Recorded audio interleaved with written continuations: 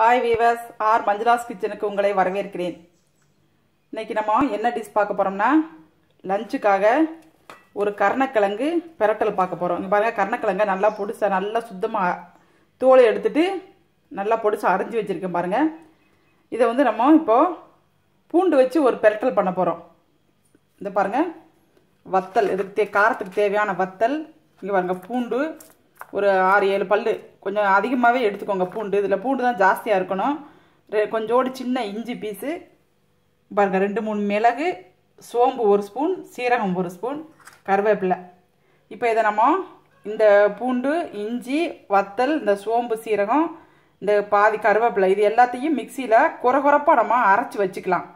வச்சுட்டு இந்த பாருங்கள் வெங்காயம் வெங்காயம் மட்டும் மிளகாய் போட வேண்டாம். வெங்காயம் மட்டும் போடுவோம். வெங்காயம் நல்லா வதக்கி விட்டு நம்ம ஏற்கனவே காரத்துக்கு வந்து வத்தல் போடுறோம் அதனால் மிளகாய் வேண்டாம். இந்த வெங்காயத்தை மட்டும் நம்ம நல்லா வதக்கி விட்டுட்டு தாளித்து விட்டு வதக்கிட்டு இதெல்லாம் போட்டு நல்லா பெரட்டி எடுப்போம். முதல்ல வந்து கருணக்கிழங்கு வந்து கொஞ்சோண்டு உப்பு போட்டு வேக வச்சிருவோம். பாதி வேக்காடு வெந்துடணும் ஏன்னா இதில் பெரட்டும் பொழுது பாதி தான் வேக முடியும். அதனால் முதலே ஒரு வே கொதி வச்சு வேக வச்சிட்டோம்னா அப்புறம் நம்மளுக்கு இது பண்ணுறதுக்கு ஈஸியாக இருக்கும். இப்போ இதை நம்ம ஃபஸ்ட்டு வேக வச்சிடறேன் பாருங்கள் இப்போ பாருங்கள் இதை நம்ம வேக வச்சிடலாம். இதில் வந்துங்க பாருங்கள் லைட்டாக ஒரு கால் ஸ்பூன் சர்க்கரை போட்டுக்கோங்க. இது வந்து கொஞ்சம் நர நரன்னு சொல்லும். அதனால் கொஞ்சம் கால் ஸ்பூன் சர்க்கரை போட்டுருங்க. இல்லாட்டி புளி தண்ணி ஊற்றிக்கலாம் உங்களுக்கு விருப்பம் எப்படியோ அப்படி பண்ணிக்கலாம். கொஞ்சம் மஞ்சள் பொடி கொஞ்சம் உப்பு. இதில் கொஞ்சம் பாதி உப்பு மட்டும் போட்டுக்கலாம். அப்புறம் நம்ம திரும்ப தேவைப்பட்டால் போட்டுக்கலாம். இதை இப்போ நல்லா வேகட்டும். பாதி வெந்ததுக்கப்புறமா நம்ம தண்ணியை எடுத்துட்டு அதுக்கப்புறமா நம்ம பெரட்டை பண்ணலாம். நம்ம நான் அந்த கா காயை வேக வச்சு எடுத்து வச்சுட்டேன். இப்போ கடாயை அடுப்பில் வச்சுருக்கிறேன். இதை நம்ம தாளித்து விட்டுடலாம் தாளித்து விட்டுட்டு அப்படியே வதக்கலாம் அரை வேக்காடு வேக வச்சு எடுத்து வச்சுருக்கிறேன். இதில் கடுகு உளுந்து கொஞ்சம் சீரகம் போட்டுக்கோங்க. ரெண்டு மூணு சோம்பு போட்டுக்கோங்க. நம்ம ஏற்கனவே சீரகம் சோம்பு தான் அடிச்சிருக்கோம். உளுந்து கொஞ்சம் போட்டுக்கோங்க.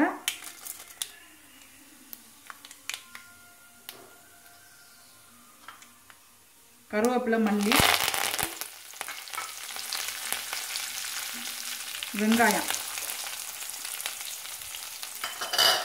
வெங்காயம் நல்லா வதங்கட்டும்.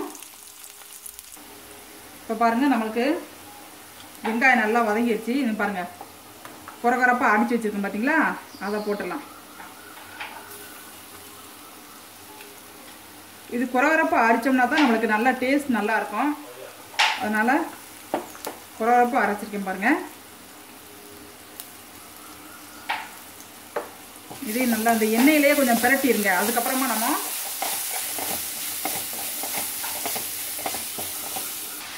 இப்போ பாருங்கள் நான் சேனக்கிழங்கையும் போட்டாச்சு.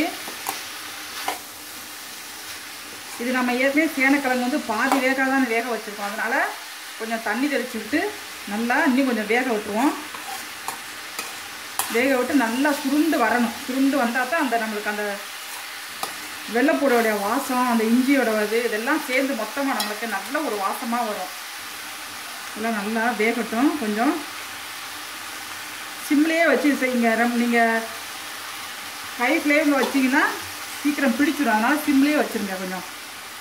வச்சு இதை மூடி மூடி மூடி வச்சு மூடி வச்சு வேக வைக்கலாம்.